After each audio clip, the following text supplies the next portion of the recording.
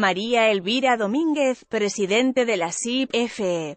La Sociedad Interamericana de Prensa, SIP, condenó este martes la detención del periodista venezolano-español Luis Carlos Díaz por funcionarios del Servicio Bolivariano de Inteligencia, SEBIN, del régimen de Nicolás Maduro. La SIP, con sede en Miami, calificó la captura de Díaz, que permanece incomunicado, de «nuevo ataque contra la libertad de prensa». En Venezuela, Díaz, que tiene nacionalidad venezolana y española, trabaja en la emisora Unión Radio Noticias de Caracas y es activista de los derechos humanos. Luis Carlos Díaz fue detenido por el régimen de Maduro, la primera comisión del SEBIN que lo entrevistó lo maltrató. Lo golpearon con el casco de la bicicleta.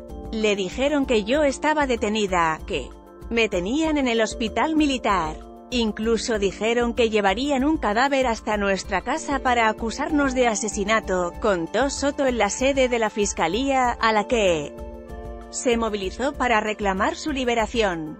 Lo amenazaron varias veces conmigo por mi condición oncológica, reveló la periodista, que está enferma de cáncer desde hace poco más de un año.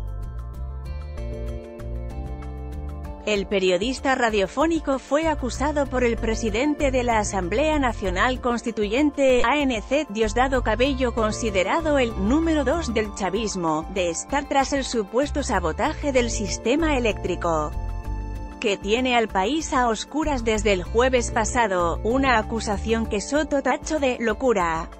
Diosdado Cabello acusó a Luis Carlos Díaz de estar tras el «sabotaje» al Sistema Eléctrico La presidenta de la SIP, María Elvira Domínguez, y el presidente de la Comisión de Libertad de Prensa e Información, Roberto Rock, exigieron la liberación inmediata del periodista.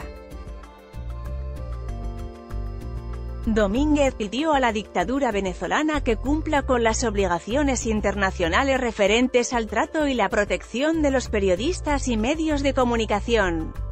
El régimen de Maduro ha detenido de forma temporal a numerosos periodistas venezolanos, corresponsales extranjeros y enviados especiales, entre ellos al periodista estrella de la cadena hispana Univisión Jorge Ramos.